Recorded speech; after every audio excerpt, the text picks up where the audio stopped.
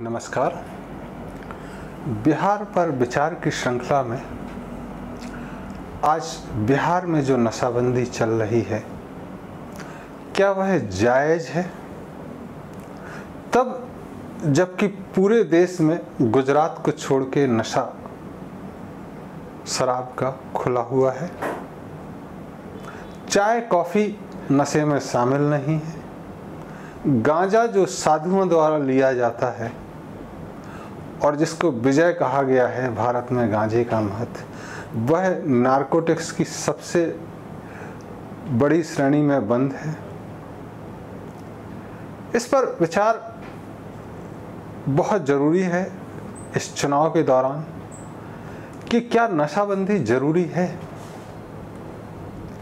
क्या बिहार जो नशाबंदी करके कुछ बरस चल गया है और वहीं जब कोरोना में सारी दुकानें बंद हुई और भारत सरकार जिसके पीछे बहुत बड़े एक प्रबुद्ध वर्ग का कहना है कि नशा खराब है, लेकिन सरकार ने हथियार डाल दिए और शराब की दुकान खोल दी गई। जिस दिन शराब की दुकानें खुली, उस दिन कई कई जगह 400-500 मीटर की लंबी लाइन भी लगी। सरकार बिना शराब खोले नहीं रह पाई, क्योंकि इसके टैक्स से सरकार चल रही है। बड़ा अजीब है। एक तरफ़ आप सिगरेट के पैकेट पे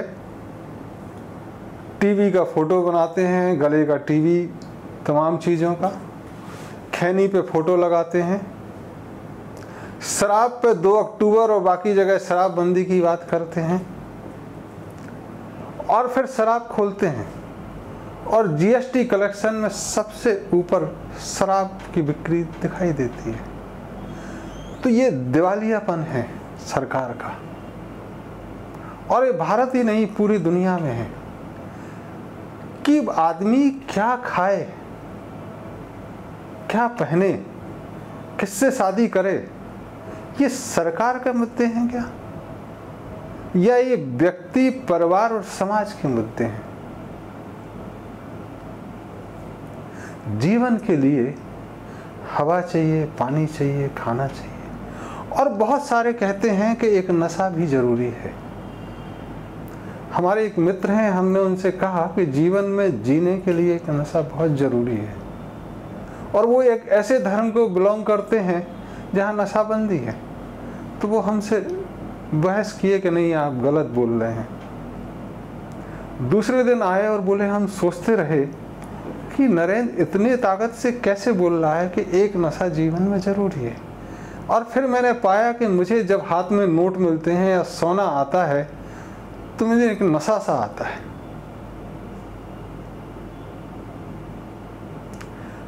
कुछ ज्ञानी जन, जैसे रामकृष्ण परमहंस, जीवन चलाए रखने के लिए एक नशा जो खाने का है, वो पाले रहते हैं। वो कहते हैं, सिर्फ़ खाने से ही नशा मिलता है। और कुछ लोगों के लिए जीवन इतना बोझल हो जाता है कि सोने के लिए नशा चाहिए। तुम हॉस्पिटल में देखोगे कि कई पेशेंट जिनको नींद नहीं आती है, डॉक्टर कोशिश करता है कि इसको नींद आ जाए तो ये बच जाएगा और उसको नशा देते हैं। तो जीवन इतना बोझल हो गया है कई लोगों का कि उनको नींद नहीं आती तो वो एक नशा कर लेते हैं। अब व्यक्ति को नींद आए ना आए, ये सरकार के निर्णय हैं क्या? ये बहुत अजीब चीज़ें हैं। ऐसे में सही क्या है, गलत क्या है? इस पर ज्ञानियों की राय क्या है? इस पर थोड़ी चर्चा ज़रूरी है।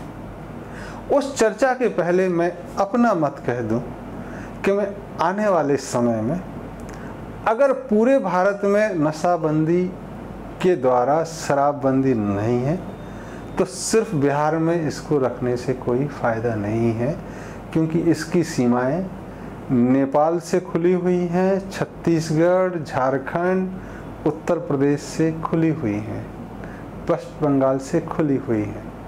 तो लोग सैटरडे, संडे और जो एक छोटी सी चीज़ है, उसको तस्करी, तमाम चीज़ों का नाम देके अपराध में शामिल करने की कोई ज़रूरत नहीं है। पुलिस की कमाई बढ़ाने की ज़रूरत नहीं है। और कुछ ये कहते हैं कि लोग परिवारों को पैसा नहीं देते हैं, शराब में उड़ा देते हैं। तो हकीकत यह है कि पहले तीन सौ रुपये कमाते थे, साठ रुपये की शराब पीते थे और दो सौ चालीस रुपये घर दे देते थे। शराबबंदी के बाद वही शराब अस्सी और सौ रुपये की मिलने लगी है, खुली मिलती अब वो दो सौ बीस या दो सौ रुपये ही दे पाते हैं। तो जिसके भले के लिए सोचा, उसका नुकसान और हो गया। कि शराब तो खुला मिल रही। और शराब से बड़े नशे। अगर आप विद्यालयों में जाओ, जहाँ पढ़ाई नहीं होती है, पार्कों में जाओ, जैसे मैं सीतामढ़ी के पार्क में बारह दिन बैठा, और वहाँ बच्चे देखे तो वो डाइल्यूटर कैप्सूल, इंजेक्शन और ऐसे कौन कौन से छोटे छोटे नशे हैं जिसमें बेनाड्रिल है कप सैरेप्स हैं, ये सारे नशे बच्चों में चल रहे हैं। ये ज़्यादा घातक हैं। उनसे पूछो तो शराब कैसे देते हो? बोले, पैदल पैदल ले जाते हैं। तो जैसे रईस पिक्चर में तुमने देखा होगा कि बच्चे शराब ले जाते हैं, बिहार में अभी बच्चे शराब ले जा रहे हैं। और एक बार आदत पड़ गई है तो खुद भी किसी ना किसी तरह का शराब नहीं है तो छोटे छोटे नशे, उनका सेवन जारी है। और इस कोरोना काल में आपने सबको एक मोबाइल लेने पर मजबूर कर दिया। शिक्षा के क्षेत्र में मोबाइल, ऑनलाइन क्लासेस तो अब एक पोर्नोग्राफिक का एडिक्शन हो गया है। सोशल मीडिया का एडिक्शन ये और ख़तरनाक शुरू हो गया। तो बिहार में और पूरे भारत में। एकांगी चीज़ों से नहीं चलेगा। समग्रता से चीज़ों पे चर्चा ज़रूरी है। तो जैसा मैंने कहा कि आने वाले समय में प्रयास करूँगा कि बिहार में ये थोड़ी बहुत नशाबंदी नहीं हो। भारत में अकेले बिहार और गुजरात में ना हो। हो तो पूरे देश में हो, ना तो पूरे देश में चले। गांजे पर प्रतिबंध हटे। चाय और कॉफ़ी जो बहुत बड़े नशे के रूप में उभरे हैं डेढ़ सौ बरस में, जिसको लोग नशा नहीं मानते हैं, उस पर विचार ज़रूरी है। तो जब हम ज्ञानियों से पूछते हैं कि कौन सा नशा ठीक है, कौन सा खराब है तो ज्ञानी कुछ कहते हैं कि सारे नशे खराब हैं। कुछ ज्ञानी कहते हैं कि जो जीवन चलाने के लिए ज़रूरी हो और जो जीवन के बोझ को दबाने के लिए ज़रूरी है, वह नशा ठीक है। कुछ ज्ञानी कहते हैं कि जिसमें खुद का नुकसान हो, परिवार का नुकसान नहीं हो, वो कम नुकसानदेह है। जिसमें आपका नुकसान हो और परिवार का नुकसान हो, वह ज़्यादा बड़ा नशा है। जिसमें समाज का नुकसान हो, वो और ज़्यादा बड़ा नशा है। और जिसमें पूरी प्रकृति का नुकसान हो, वो सबसे बड़ा नशा है। वह कहते हैं कि गांजा पिया, सिगरेट पिया, अगर आप किसी पे धुआँ छोड़ रहे हो तो दिक्कत की बात है। अगर अपना पी रहे हो और धुआँ आसमान में छोड़ रहे हो तो इतने धुएँ हैं, इससे किसी को नुकसान नहीं होना। शराब पी के सो जाते हो, किसी को नुकसान नहीं है, कोई दिक्कत नहीं है। गांजा पी के सो जाते हो, कोई दिक्कत की बात नहीं। लेकिन अगर चाय, कॉफ़ी पीते हो, इससे गौ माता को दिक्कत हो रही है।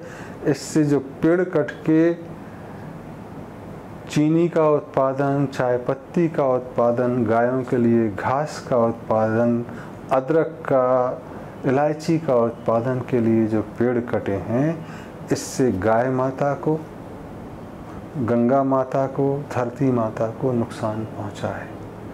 यह ज़्यादा घातक है। और सबसे ज़्यादा घातक जो दोहा आता है भारत में, कनक कनक ते शौगुनी मादकता अधिकाए। एह खाए बोराए नर तह पाए बोराए। जो सोना है, उसको कनक बोलते हैं और जो धतूरा है, उसको भी कनक बोलते हैं। वह कहते हैं कि धतूरा खाने से बोरा जाता है आदमी पागल हो जाता है, नशे में आ जाता और सोने के सिर्फ़ पाने से आदमी पागल हो जाता है, नशे में। तो सबसे बड़ा जो दुनिया में नशा है, वो सोने का नशा हो गया, वो पैसे का नशा हो गया। इस नशे ने देश के देश बर्बाद किए हैं। और व्यापारी वर्ग जो पैसे की होड़ में है और बाकी होड़ में है ये नशा सबसे ज़्यादा खराब है। तो साधु कहते हैं, जो छोटा नशा हो, वह चलेगा। जो बड़ा नशा है, वह दिक्कत का है। तो उन नशे में चुनाव ज़रूरी है। कुछ ज्ञानी कहते हैं कि देश काल परिस्थिति के हिसाब से किया गया नशा उचित है और परिणाम भगवान पे छोड़ दो। अगर समाज में जहर है और मंथन करोगे तो जहर निकलेगा।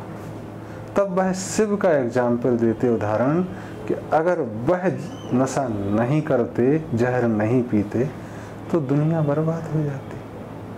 तो वो नशा लोग पीते हैं। और तुम देखोगे कि जो इतना बड़ा नशा होता है, उसमें सांप भी आसपास डोलते हैं शिव जी के।